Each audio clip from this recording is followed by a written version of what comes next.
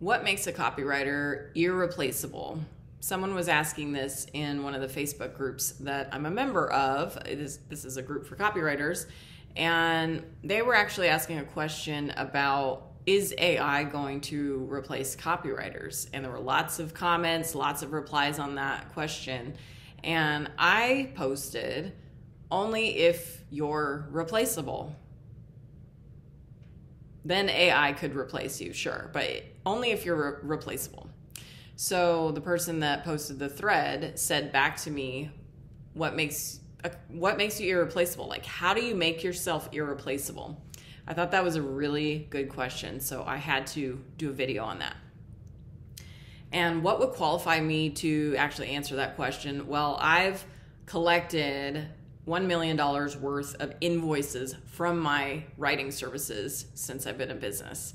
So, not saying I did that super quick, it took me a long time, but I've actually collected a million dollars worth of writing services.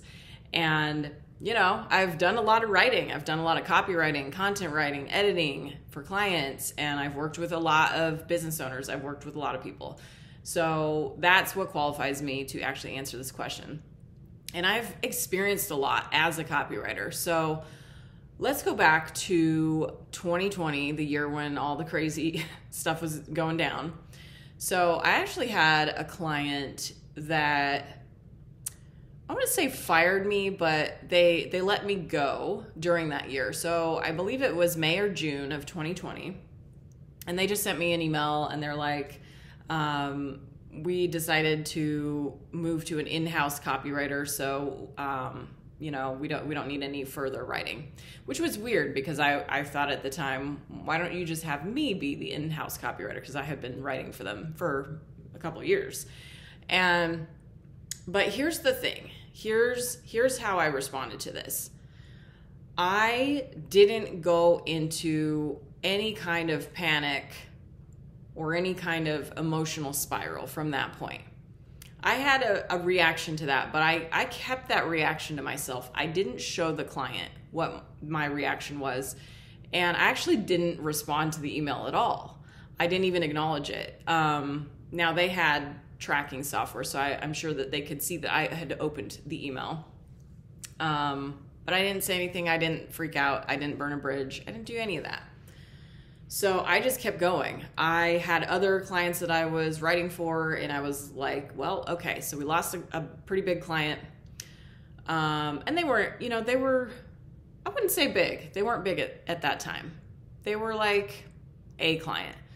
So, anyways, six months later, January 2021, that client came back they said, Hey, we're hiring a copywriter. We're looking to hire a copywriter. Are you taking on clients? And I said, Absolutely. Um, so we hopped on a call, we talked about it. It turned out they wanted to give me not only the tasks that I had previously been doing for them, they wanted to give me like 95% of all of their copywriting. So I was basically going to take over all of the content writing, all of the copywriting for the entire company. And I was like, that's cool and they offered to double the fee that they were previously paying me for that. And I was like, okay, that works. Um, so I immediately picked up right where we left off without even missing a beat. That is what makes someone irreplaceable. Now, this is a client that I've continued to work with uh, for several more years after that. And I also think this is what makes someone irreplaceable is they really take the time. A copywriter takes the time to really learn your brand, learn your style, learn your actual material, your message. What are you trying to teach people? What is your style of delivery? And then what is your voice? Like, how do you sound in writing, in speaking? And a lot of my work for that client is taking literally their transcripts and turning it into written articles and emails and promotional content and sales pages and all of it. And so I believe that is what makes a copywriter irreplaceable. So part one is you don't have emotional meltdowns in front of the client or at all, really. Like you know how to regulate your own emotions. That's Part one, that makes someone irreplaceable. And part two, you you pick up right where you left off, like without missing a beat. I I viewed the situation as, you know what? There's nothing I can do about it. I'm going to keep moving forward. That to me makes someone irreplaceable. That is a mindset. That is an attitude. That is a way of approaching life, business, work. Like we just keep moving forward.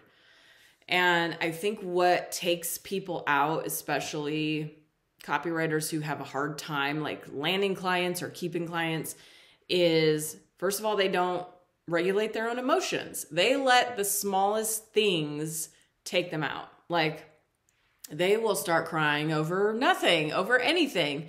They'll find any reason to get triggered over anything.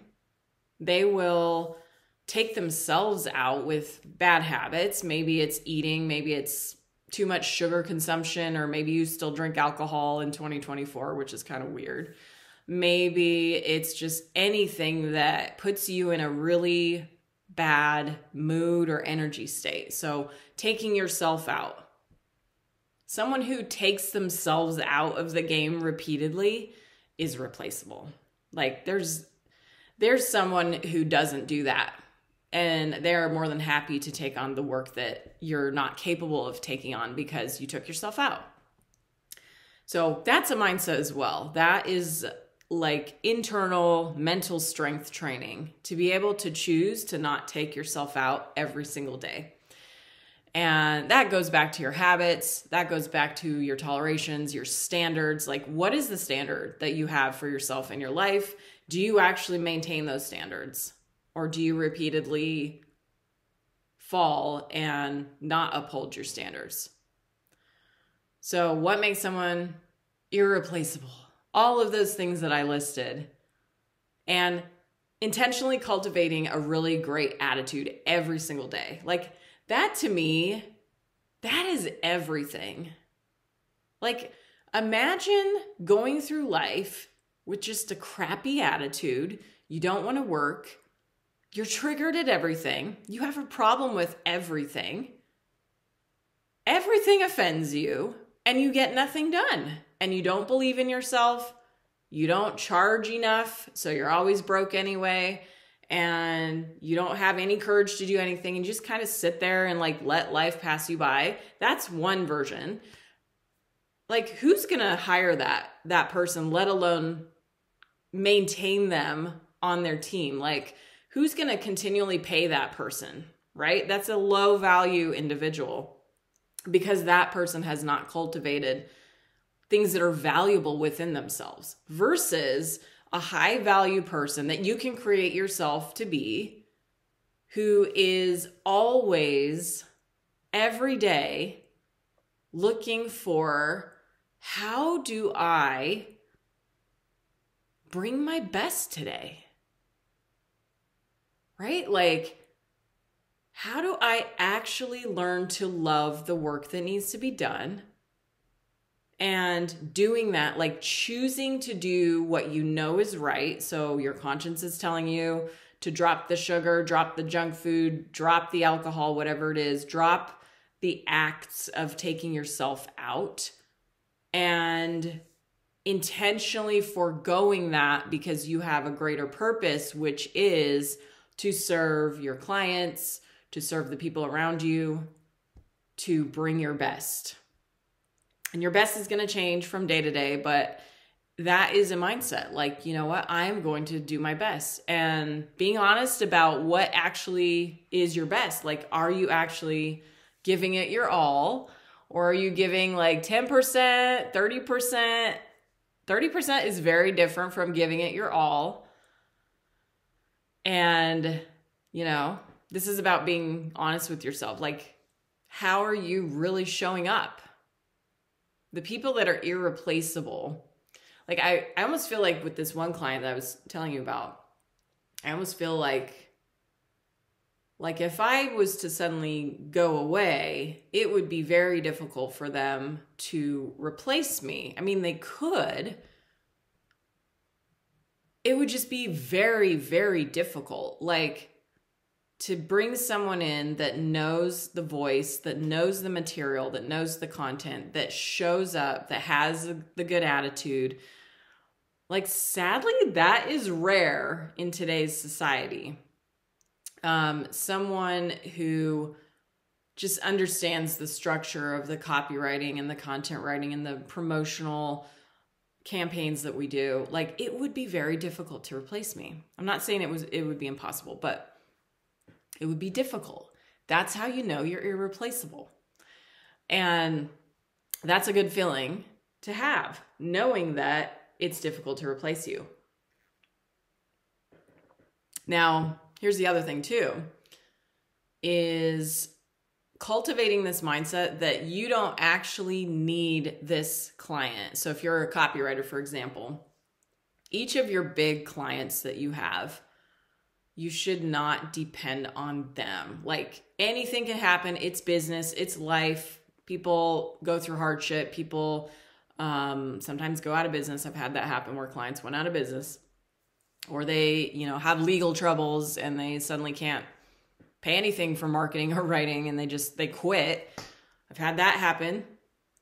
Um, but what makes you irreplaceable also is you just keep going. You don't rely on one client. You are working behind the scenes to add more clients and to do more work and to just build up this solid base of people that you can serve.